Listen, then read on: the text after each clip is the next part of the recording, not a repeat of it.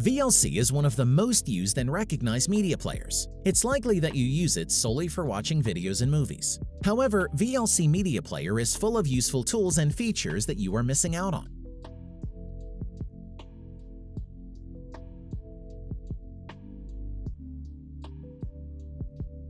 VLC is one of the better free video converters available.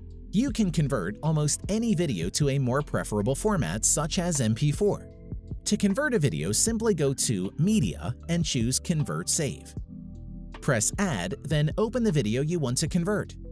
Click Convert to continue. Under the Settings tab, you can create a new profile. These profiles consist of the settings that your new video will have. On the opening menu, you can pick the format you want the video to be in. Switching to the Video tab, you can set your codec, quality, and frame rate. Switch to the Audio tab. Enable audio. You can name your profile and save it for future use. Select your profile, choose a file destination via the Browse button, then press Start to convert your video. VLC comes with inbuilt filters that you can apply and save to your video. There is a wide range of effects that you can make use of, allowing you to add color, sharpen the image, add motion blur, or even crop out an area of the video. To save an effect to your video, go to the Preferences menu. Select All at the bottom of the window. Find Video from the left pane and expand the Filters option. Select the effect you want to add. Adjust the settings click on the Filters heading. Check the effect you want to add, then press Save. To apply the effect, go through the previously mentioned steps to convert your video. When creating your profile, head to the Video Codec section. Enable Video and go to the Filters tab. Check the box next to the effect, then save your profile. Now, when you convert the video, the effect will be added. A full guide on how to crop a video using VLC will be included in the description below. VLC has an inbuilt subtitle downloader that you can use to add subtitles to your movies and shows. To add a subtitle to your video, head to the menu and select View. Choose VL Sub and a new window will open. Now you can select the language, title, season, and episode you want the subtitles for.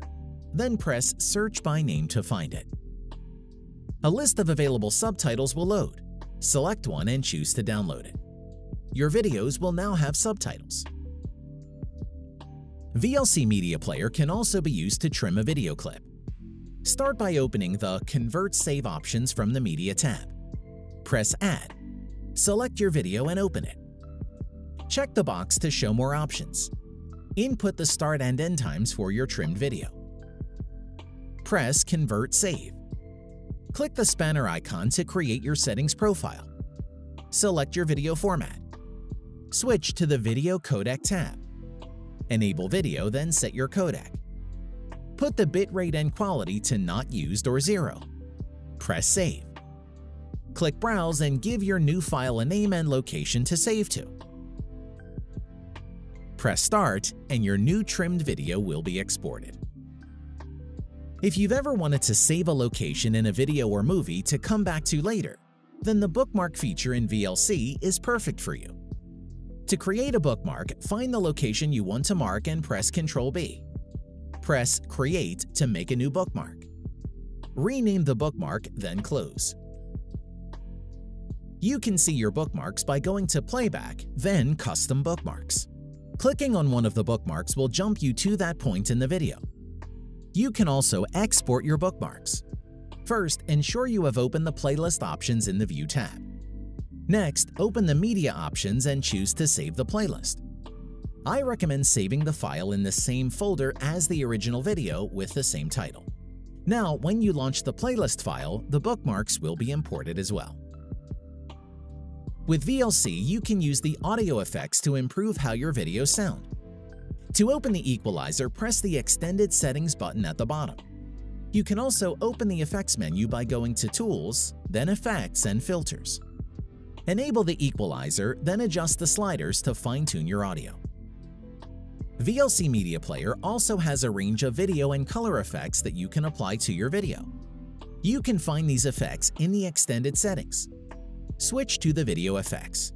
Check the box at the top to get access to all your color options.